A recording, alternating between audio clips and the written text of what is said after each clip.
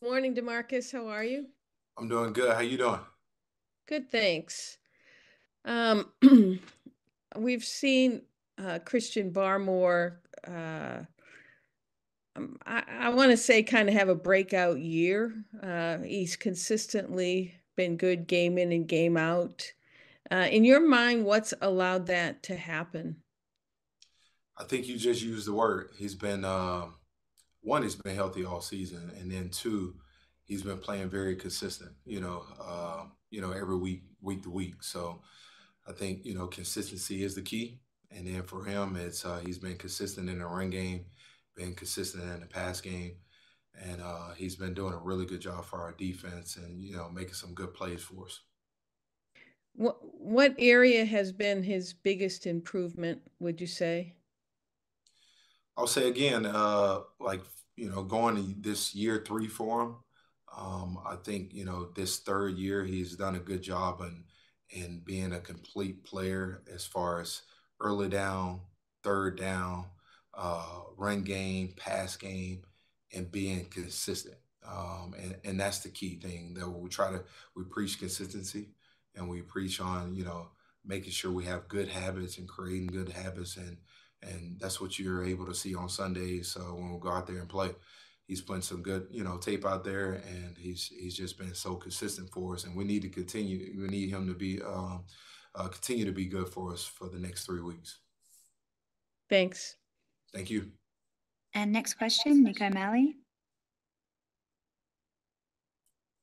Hi, Demarcus. Uh, speaking of guys who have contributed consistently for you guys, uh, this uh, Davon Godchaux has been part of the really a foundational piece for the defense for a while now in New England, but is really one of the lesser heralded guys, uh, at least outside the organization, from uh, what we've seen. What have you seen from his growth within the Patriots system and the role he's taken on for you guys?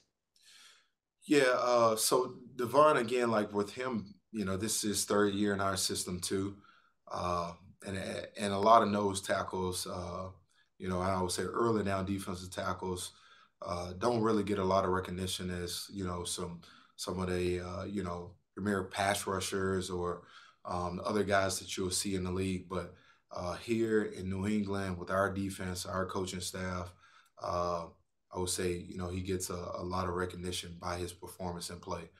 Uh, he does a really good job of preparing throughout the week. Um, his practice, the way he practices, his practice habits, his attitude towards work, um, his attitude towards, uh, you know, uh, studying opponents is second to none. And he does a really good job for us. And it shows on Sundays when we go out there and play. You know, he turns it on for us. Uh, he dominates, uh, you know, the guy across the ball from whoever that might be, center guard. It really doesn't matter because uh, he's a master technician and does a really good job of practicing those habits. So once it once it turns to game reality, um, it, it's uh, there's no thinking at all. And we've in terms of guys who have made it to the NFL from small schools, uh, Kyle Dugger gets a lot of attention. But with uh, Jeremiah and Sam on the defensive line, how have you seen their progression uh, coming from smaller programs and Jeremiah obviously having the stint in the USFL uh, into the NFL? Always joke with Jeremiah. I said one day, hopefully, I'll be a part of your story, your book, because uh, I'm just so proud of that dude. From uh, you know, from Friends College, you know, to out of football, to USFL, to arena, um, to just working a regular job, and to now being on the active roster at the New England Patriots, which is such a blessing for him. And really, all the credit goes to, to him. I mean, every single day, uh, Jeremiah is working on something in the morning. Um, probably one of the you know first guys in there, last one off the field. Uh, asked great questions in the meeting room.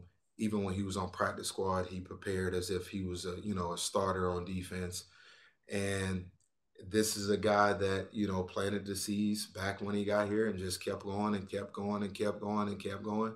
And now you see a guy that's uh, you know that's on an active roster that's suited up for on game days that's reaping the rewards of you know the souls that you see, you know, that he planted, you know, a long time ago.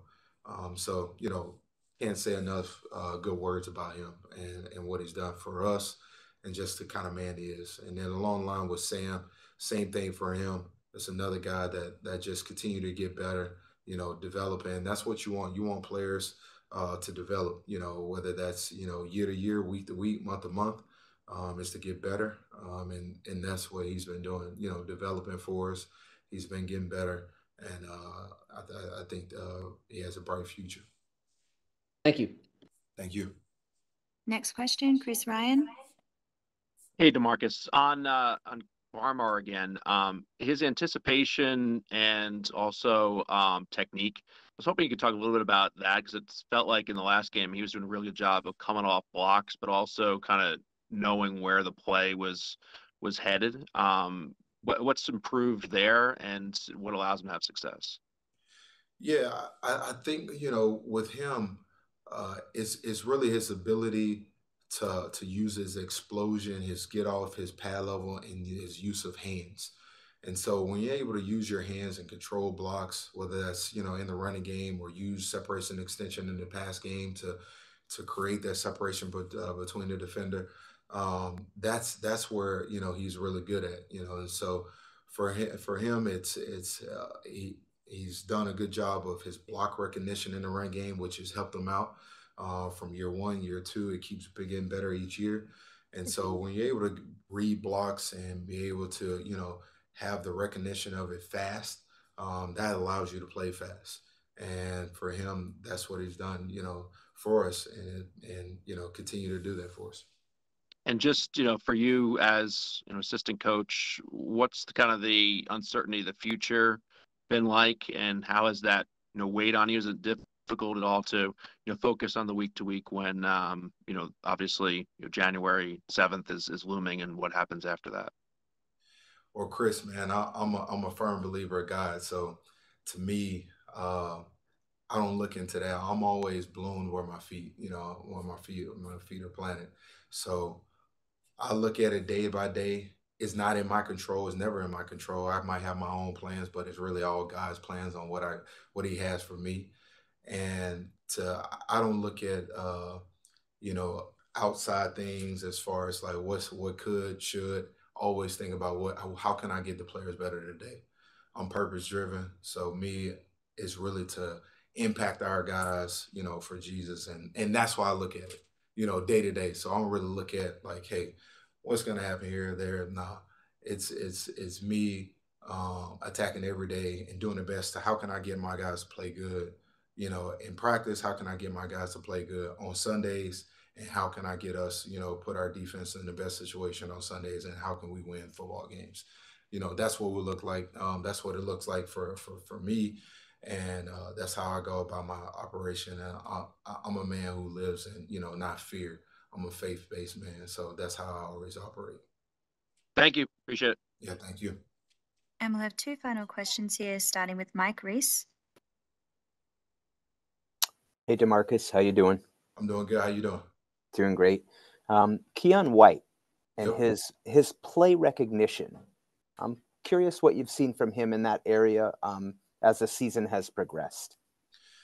Yeah, I think with the more snaps that he's getting over the season, uh, you know, I, I, would say every play is a learning play from him, and so which is good. So the more snaps uh, he gets out there on the field, uh, the more learning opportunity he gets uh, he, he, gets in return. And each play, you know, we can all can learn from you know every play, you know, good, bad, and so you can see where he's able to play fast each week. I think you know faster each week. Um, you know, with the with the more reps that he's been you know getting throughout the season. So you know, I, I think with rookies and you know, guys, especially a guy like him who really hasn't been playing the position for that long, uh, is able to value the experience of being out there, uh, you know, week to week, you know, so for us. And he's done a really good job of, of, of the snaps that he's getting and taking advantage of those opportunities. And for, for, for him, I, I think, you know, he's going to, you know, grow uh, each year, each week, just like he's been a smart dude, tough dude. And, you know, uh, he, he rarely makes uh, mistakes twice. Thank you. And we have time for one final question here from Ian Steele. Thanks, Steph. Hey, Demarcus, uh, you mentioned in a previous answer, you know, you have your own plans and you focus on those as you go about the day to day. In overall, with your career, you know, we've heard coaches, assistant coaches say eventually they want to be head coaches. Is that down the horizon for you? Obviously, that's in horizon for me uh, of what I want to do.